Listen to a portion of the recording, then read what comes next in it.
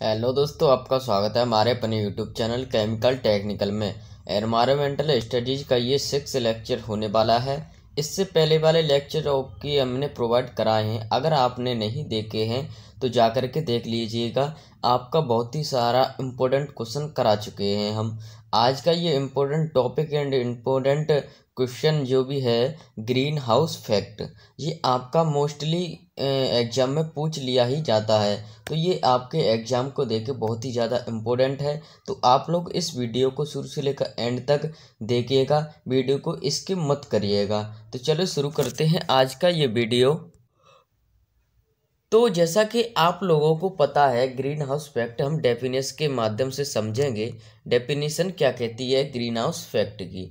वातावरण में मानव जनित, जो कि आप लोगों को पता है, जो कि हमारे कार्बन डाइऑक्साइड जिन जिन स्रोतों से हमारी कार्बन डाइऑक्साइड रिलीज़ होती है उससे क्या होता है, जो पृथ्वी पर, पृथ्वी की सतह पर जो लेयर मतलब प्रोग्रेसिव क्या है प्रोग्रेसिव तापमान मतलब वार्मिंग को हरित प्रभाव कहते हैं, ठीक?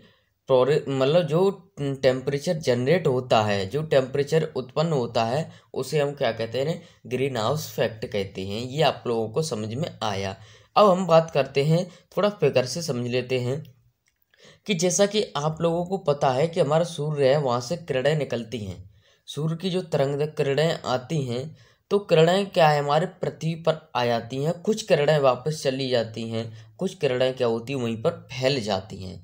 तो फैलने के कारण वहाँ पर पृथ्वी का टेम्परेचर इनक्रीज होता है। तो इनक्रीज होता है तो पृथ्वी का टेम्परेचर में बढ़ोतरी होगी। तो यही कारण है, उसे ग्रीन हाउस इफ़ेक्ट कहते हैं। और यह टेम्परेचर में जब बढ़ोतरी होती है, उसे हम ग्लोबल वार्मिंग कहते हैं। ठीक है? ये ग्लोबल वार्मिंग हम पिछले लेक्चर्स में डिस्कशन कर चुके हैं। ठीक है? अब अब बात थोड़ा इसमें पढ़ लेते हैं। थोड़ा थोड़ा टॉपिक आप लोगों को, जैसे मैंने बताया, वही है कि वायुमंडल में क्या है वायुमंडल में? क्या है औद्योगिक पूर्व के अस्सी पीपीएम से बढ़कर दो हज़ार पीपीएम तक क्या होता है आपका? जो कि औद्योगिकरण स्तर बढ़ जाता है, ठीक है? और ये गैसें होती हैं, उन्हें हम क्या कहते हैं? ग्रीन हाउस गैसें हैं। कौन कौन सी? सी ओ टू हो गई सी एच फोर हो गई N two O C F C S हो गई, ये आपकी ग्रीन हाउस गैसें हैं, ठीक है? इनके कारण क्या होता है? हमारी एक लेयर बनती है, जैसे कि अभी मैंने समझाया था आप लोगों को, ठीक है? वही लेयर क्या करती हैं? पृथ्वी पर आने वाली किरणों को वापस जाने से रोकती हैं, ठीक है? ये है। तो इसमें क्या है? ग्रीन हाउस के कांच, दरवाजे, मोटर गाड़ी, खिड़कियों को कार्य करता है।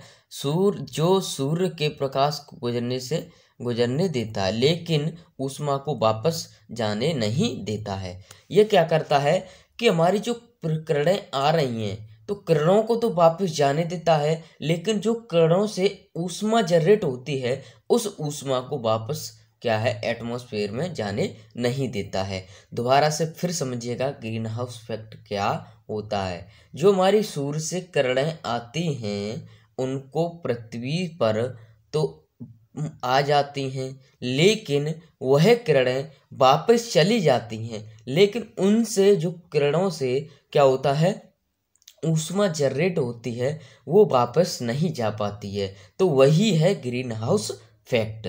और जो ऊष्मा जनरेट होती है, ऊष्मा जनरेट से तापमान में बढ़ोतरी होती है तो उसे बढ़ोतरी को हम क्या कहते हैं? ग्लोबल वार्मिंग कहते हैं। वही इसमें ये समझाया गया है, ठीक है? तो आप लोगों को ये ग्लोबल वार्मिंग अच्छे से समझ, सॉरी, ग्लोबल वार्मिंग थोड़ा सा कॉन्सेप्ट था इसमें, वो समझा दिया और ग्रीन हाउस इफ़ेक्ट आपको अच्छे से समझ में आया कि नहीं कमेंट बॉक्स में ज़रूर बताइएगा। और आप लोगों ने टेलीग्राम ज्वाइन नहीं किया है टेलीग्राम ज्वाइन हो जाइएगा। जैसा कि हम अपडेट्स करते हैं आप लोगों को तो मोस्ट अपडेट आप लोगों के पास मिल जाए और आप लोगों सबसे पहले देख पाओ, ठीक है? और आगे इसमें क्या कह रहा है कि हमारे जो कि आने वाले समय में, हमारे जो कि पृथ्वी का जो टेम्परेचर है, उसमें दो से पाँच डिग्री सेंटीग्रेड में वृद्धि होगी आने वाले समय में, ठीक है? तो ये उससे क्या होगा? उससे हमारे हानि क्या होगी? जो कि आपके ग्लेशियल फॉल्स पहाड़ हैं, जो कि बर्फ़ के पहाड़ हैं, उनको पिघलना होगा। पिघलेंगे वो तो बाहर आने की संभावना बढ़ जाएगी। बाहर आने की संभावना बढ़ेगी तो हमारे उसके किनारे जो भी समुद्र तट के किनारे क्या है, शहरी जो इलाके हैं, वो क्या है, उनको नष्ट होने की संभावना बढ़ जाएगी। ठीक है? तो ग्लोबल वार्मिंग ये है, बहुत ही हानिकारक है ग्लोबल वार्मिंग। ठीक है, उससे क्या होता है, हमारे ग्लोबल ग्लोबल वार्मिंग से टेम्परेचर इंक्रीज होने के कारण ग्लोबल वार्मिंग होती है और ग्रीन हाउस इफ़ेक्ट के ही कारण ये उत्पन्न होती है। ग्रीन हाउस इफ़ेक्ट आप लोगों को समझ में आया कि पृथ्वी पर किरणें आ रही हैं। पृथ्वी पर किरणें आ रही हैं, लेकिन ये किरणें वापस तो जा रही हैं और ये अपनी ऊष्मा को यहाँ पर छोड़ जा रही हैं। ऊष्मा को छोड़ जाती हैं और अपन वापस एटमॉस्फेयर में चली जाती हैं। तो यही कारण है ग्रीन हाउस इफ़ेक्ट का, ठीक है? तो ये पड़ता है इफ़ेक्ट पृथ्वी पर टेम्परेचर में, ठीक है? तो आई होप आपको लेक्चर पसंद आया हो तो वीडियो को लाइक करिएगा चैनल पर लाइक सब्सक्राइब कर लीजिएगा, अपने दोस्तों में शेयर करिएगा। तो मिलते हैं नेक्स्ट वीडियो में, तब तक के लिए जय हिंद बंदे मातरम।